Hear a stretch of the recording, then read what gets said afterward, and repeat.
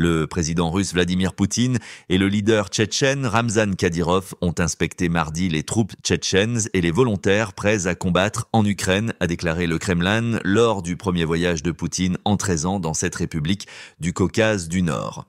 Ce déplacement non annoncé auparavant dans cette république majoritairement musulmane qui fait partie de la Russie intervient alors que Moscou lutte pour repousser les forces ukrainiennes de sa région de Kursk deux semaines après que celles-ci ont franchi la frontière lors de la plus grande invasion de la Russie depuis la Seconde Guerre mondiale. Selon Reuters, Tant que nous aurons des hommes comme vous, nous sommes absolument invincibles, a déclaré Poutine aux troupes